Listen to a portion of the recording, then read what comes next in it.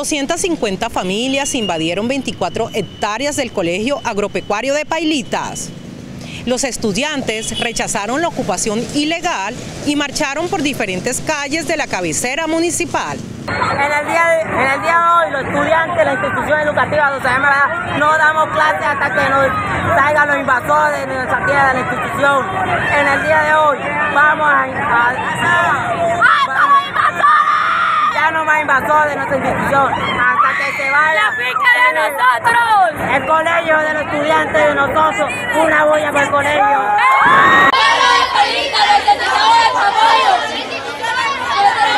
Este espacio este espacio como tal es de una institución educativa que tiene una finalidad específica.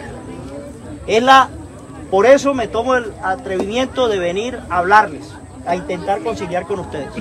Pero sí considero muy mal hecho que aquí estén utilizando personas que realmente necesitan.